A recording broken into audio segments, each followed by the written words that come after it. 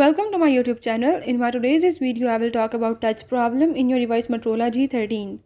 So if in this device Motorola G13 touch is not working or touch is working slow, I will tell you in my this video how you can fix this issue.